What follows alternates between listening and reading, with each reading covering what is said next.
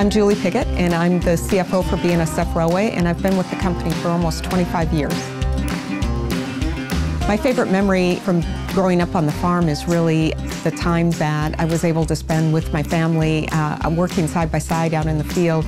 I remember when we were young, we used to take a lunch out to my dad every day while he was working the harvest so that he could have something to eat and we'd put a blanket down and treat it like a picnic. Well, my parents bought a farm shortly after they were married and continued to grow the farm. I remember when I was young uh, working with my parents during the harvest to bring the crop in. You know, it's a really short planting and growing season in North Dakota, and so it's important that there's a reliable service so that the farmers can get their fertilizer and their seed.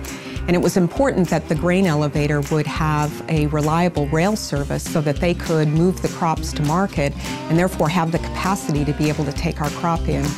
And so as CFO at BNSF, I'm working with the team to make sure that we have the right assets, meaning locomotives, people, infrastructure, in order to be able to provide a reliable and efficient rail service for our customers.